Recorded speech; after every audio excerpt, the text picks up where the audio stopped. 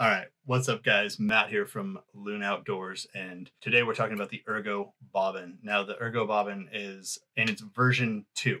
Um, this is our bigger bobbin. You can see in comparison to the all-purpose bobbin, you're going to have a super mega stout tube, huge ergonomic, comfy finger placement here. It is ambidextrous, and there is no wrong way to pick it up, which is awesome.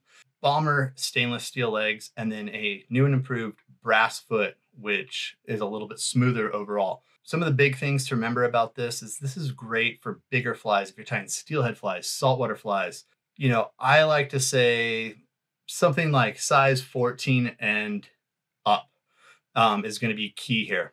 It's going to cover your small stuff too. It's just going to be a little bit bigger. You're going to be more precise with your hand movements quick thing to consider here. As you go through different thread spools, there is mild diameter differences. There's different materials that the, you know, the thread is spooled onto.